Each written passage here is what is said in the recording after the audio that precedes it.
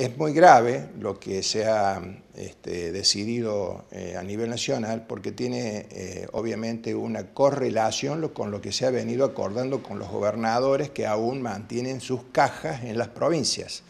Esto no es este, eh, algo que no está previsto, digamos, no está coordinado. Se ha hecho estos acuerdos pensando en que luego se haría esta ley. O sea, la preocupación es evidente eh, que la ley nacional contiene un fuerte este, contenido de inconstitucionalidad y que también eh, eh, obedece a algunas directivas o sugerencias que ya hace mucho tiempo viene manteniendo el Fondo Monetario Internacional respecto a que los viejos viven demasiado tiempo y son un grave problema a nivel mundial en la economía este, eh, vinculada al mantenimiento de la situación de los adultos mayores. Entonces, creemos que esto no es más que este, obedecer a una situación este, mundial, eh, que obviamente, felizmente, por el hecho de que los adelantos tecnológicos de la medicina fundamentalmente y, los niveles de vida que hoy eh, podemos tener los adultos mayores, se viven mucho más. Entonces esto ha pasado a ser un problema, el adulto mayor es un problema. Entonces está todo correlacionado, indudablemente, y esta es la preocupación.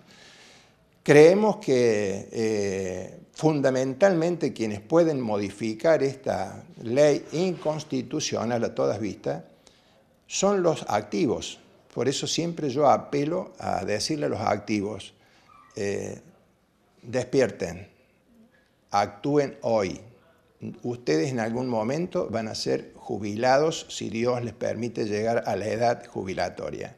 Ustedes son los únicos que pueden torcer esta situación, porque los viejos vamos a hacer el ruido que podamos, vamos a presentar los recursos que podamos, pero ustedes tienen la fuerza, la capacidad de eh, paralizar en algún momento actividades vitales que puedan llevar a que el Estado Nacional y consecuentemente los gobiernos este, provinciales se den cuenta de que están haciendo algo en contra de, sus representados. El impacto que ha producido la reforma previsional y que está a la vista está siendo rechazada por el 70% de la población, a tener en cuenta las encuestas y al mismo tiempo por la andanada de juicios de declaración de inconstitucionalidad, creo que eso como jubilados de cualquier sector, sea provincial, nacional y de todos los sectores laborales, nos eh, lleva a la necesidad de empezar a coordinar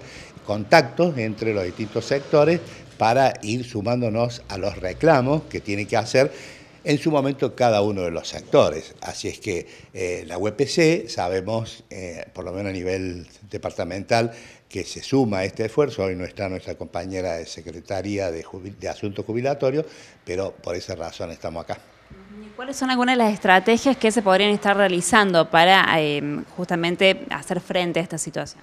Yo supongo que a pesar de que la altura del año nos está condicionando a todos, eh, lo ideal sería hablar de una coordinadora de jubilados en el ámbito de la ciudad de Río Cuarto, que probablemente se empiece a vincular con otras que se creen en otros lugares.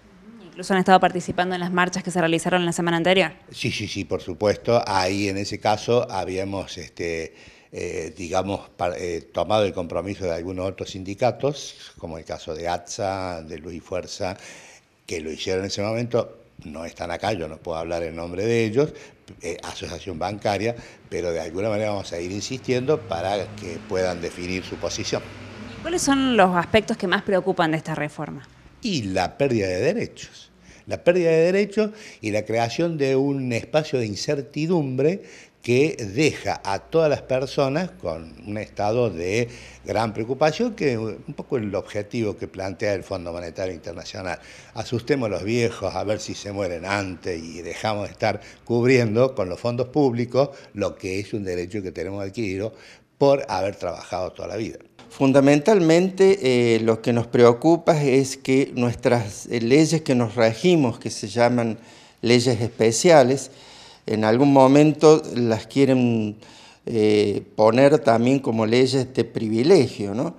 cosa que este, nosotros este, no nos parece justo y eh, queremos saber, porque ya es de conocimiento público, que hay eh, una, este, una reducción en, los, en los haberes y eso pensamos y así lo vamos a hacer saber por distintos instrumentos legales, que es, inconstitucional. Son derechos adquiridos que nosotros los vamos a seguir defendiendo y eh, fundamentalmente eh, tratar de que eh, hay una ley de, anterior donde se hacía el, un, aumento, un ajuste dos veces al año.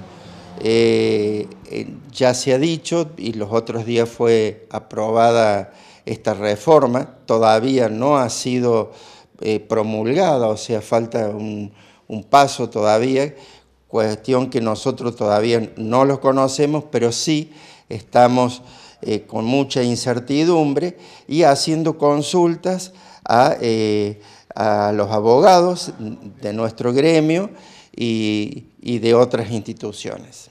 Además de estas consultas, ¿se van a definir otras acciones, otras estrategias para continuar el año próximo? Sí, por supuesto. Este, creemos que, que va a ser un, un verano bastante caliente, movidito, donde este, tenemos que estar muy atentos a las resoluciones eh, referidas en la parte legal.